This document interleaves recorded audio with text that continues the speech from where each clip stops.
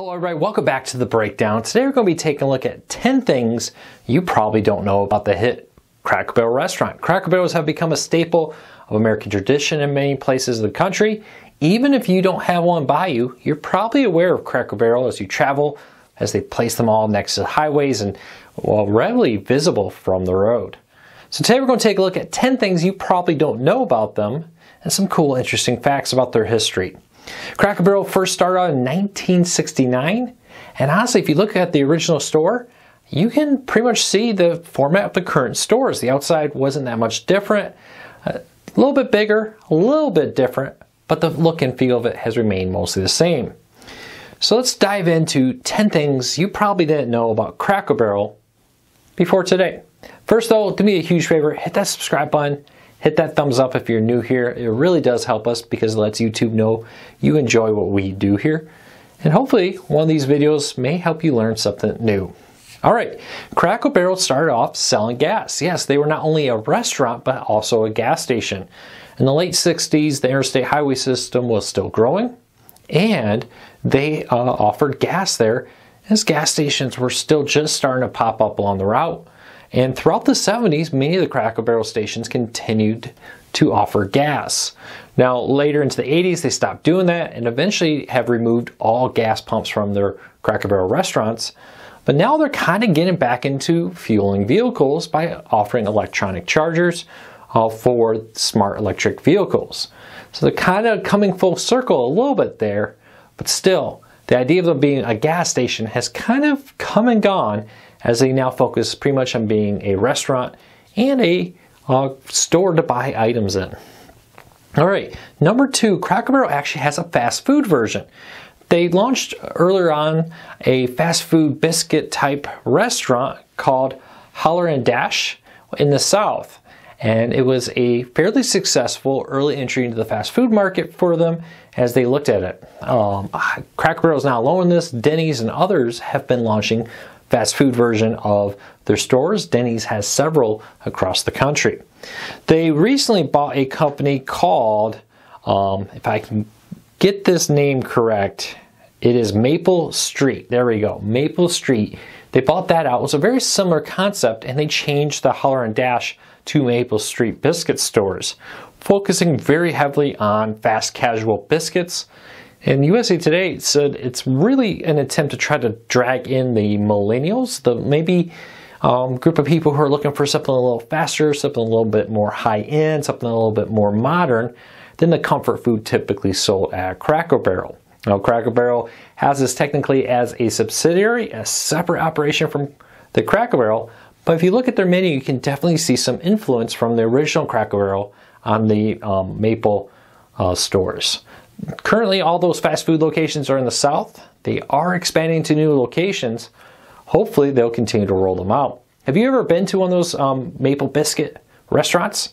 Leave me a comment. I'd love to know if anybody's actually eating at, excuse me, a Maple Street biscuit.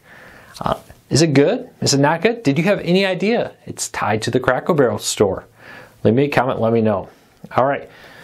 Uh, the, the decorations in the store are all, number three, 100% original. I actually know somebody who was one of the people who went around and found them. There's no reproductions. Everything you see decorating the store is actually a real antique product. And it all comes from one particular family. Um, the Cracker Barrel, when they first launched, they partnered with Dave Evans, and the Evans family has ever since supplied all of the uh, antique looking items across the stores. Now, the Evans family has, uh, since his son has taken over, and they ran an antique store. While they partner with a lot of buyers, I actually met when I worked at Camp Maine a lady who part time would go hunt for items for um, that uh, antique store. And she would go to different garage sales and flea markets and consignment um, sales and more get um, deals and then turn around and sell them um, out there uh, back to that company. So it was a kind of a cool little side business she had, finding antiques and selling them there. Now, I've heard mixed things. I can't prove this. I'd love to know if anybody um, can confirm this, that many of the items, not all of them on the wall, can be purchased, that they do sell a lot of the antiques. I kind of got a feeling that this may have been something they used to do but don't do anymore. So I hear mixed things that they don't do that anymore. But there are, um, everything in there is from one particular family.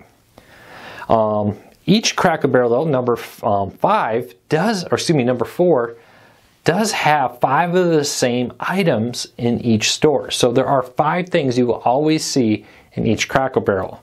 Start off with an, an um, a uh, ox yoke that's always somewhere in the store, a uh, horseshoe hanging over the front door, a traffic light over the restrooms, a deer head over the mantle, and a cook stove as a display in the retail section. Those are the five things every Cracker Barrel restaurant must have according to the company. They do this to make sure that you always have some type of familiarity, even though the decorations on the wall are the same or different. There are some decorations that are the same and kind of tie it all together. Number five, you may know that Cracker Barrels close at night, but they do always have staff members on hand. Cracker Barrel is one of the few restaurants that maintains 24 7 staffing, and they do this because at night they have a, an extremely thorough cleaning process, much more so than many restaurants out there. And the cleaning crew comes in after the closing shift and will clean all night until the morning shift comes in to start cooking. And this helps Cracker Barrel be prepared and ready for the rather long hours and for the breakfast shift. Kind of a cool thing. I didn't realize that most restaurants are getting away from an evening cleaning crew, um, but, but Cracker Barrel still does that. Number six, 90% of the ingredients on the Cracker Barrel menu come from the United States. Now, the remaining items are, for example, their shrimp. They uh, apparently, in the quantity they need them, they were unable to secure a deal. So they go international to purchase Pacific Northwest and, um, excuse me, I'm actually not sure where they're purchasing it from, but they do purchase shrimp internationally to help cover with that. So kind of cool. 90% of their menu is US based. They do try to buy as local as possible. But in some things, when you're a big restaurant, you need to get a uh, certain amount of quality quantity. You can't always do that with US. So that was kind of an interesting note there. All right. Number seven, Cracker Barrel is not affiliated with Kraft's Cracker Barrel cheese, and this actually led to a lawsuit. Um, Cracker Barrel has recently gone into selling a lot more pre-cooked hams and different things in stores under the Cracker Barrel name. Cracker Barrel deliberately decided not to sell cheese to avoid any confusion. Well, Kraft wasn't having any of that, and then they sued to try to block that. Cracker Barrel now uh, under trademark infringement. They said that there was a reasonable expectation that there may be confusion between the Cracker Barrel cheese and Cracker Barrel ham, for example, in the stores. Now Cracker Barrel has changed the branding on those items that you see in a lot of stores to be CB Old Country Store branded products. So CB Old Country um, Store ham, etc. You may notice in your local uh, restaurant or your local grocery store out there. That comes from the restaurant chain. But in order to avoid confusion with the Cracker Barrel cheese, which predated him, they did that little change there, which I thought was kind of interesting. Um, trademark is a very complicated business. You can actually have the same name as long as you're not competing in the same territory or the same kind of industry to a point. And I guess they said, hey, Cracker Barrel restaurant is significantly different than Cracker Barrel cheese from Kraft. Well, when they start coming to grocery stores selling some of their products there, that appeared to have crossed the line. I don't know. Did that ever confuse you? Did you ever assume it was related? Let me know. All right. The Cracker Barrel logo, as you see it today, was actually created in 1977 by a man called Bill Holly and has remained mostly unchanged since then. Some minor tweaks, little changes here and there, but mostly the logo has remained unchanged that whole time. Kind of a cool thing when, you, when a brand can be so successful, they don't feel the need to go update their logo to try to attract a generation. There are currently 663 restaurants, and this surprised me, in only 45 states. I assume, I assume that Cracker Barrel would have been more. Only recently did Cracker Barrel start to expand into California as one of the most recent additions as Cracker Barrel continues to go west. Uh, it would be interesting. Uh, do you have now have a Cracker Barrel near you? Pretty much everywhere I've lived has had a Cracker Barrel within a reasonable distance, so that kind of surprised me. And lastly, Cracker Barrel is more heavily getting into cooking your own take home meals. Cracker Barrel, with everything happening in the world, really wants to find a new way to reach out to customers. And they're saying, hey, why bother cooking that holiday meal? But why bother cooking dinner? And they're increasingly focusing on targeting the business growth related to, hey, take home entire family meals, pre cooked holiday hams, and more. Now get your orders in early if you want to take advantage of that.